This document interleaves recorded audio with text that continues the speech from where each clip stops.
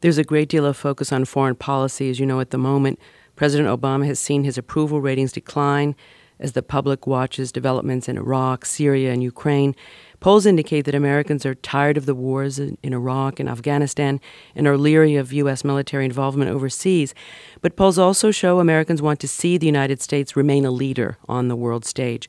What do you see as the challenges the U.S. faces in seeking to remain a preeminent superpower while at the same time being careful, you know, about foreign military deployments? Well, it's, you know, it's a very important question, and I think it gets to the heart of where we stand today um, eh, with respect to the gridlock and the hyperpartisanship and the political environment which we, you know, find ourselves. Because so often the world does look to the United States and how we address our problems. Uh, that we've been viewed as a leader in terms of the way we make decisions on the issues that we tackle.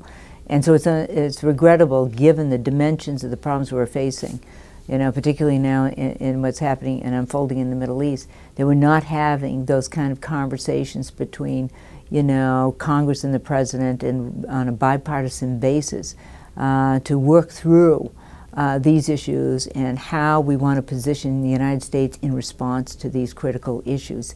I mean, I think that this is unfortunately one of the consequences of the failure for both sides to work together and for both branches of government.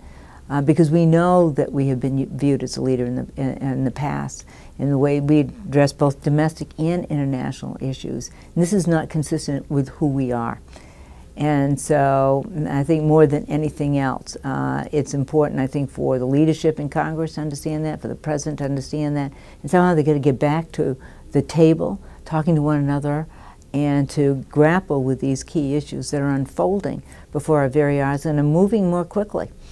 Uh, you know, these events are taking hold very quickly, and therefore it does, I think, compel them to be sitting down and talking to one another uh, rather than just ignoring, uh, you know, these uh, critical issues and let them happen without having a position that's important and consistent with our security interests and, and our national goals.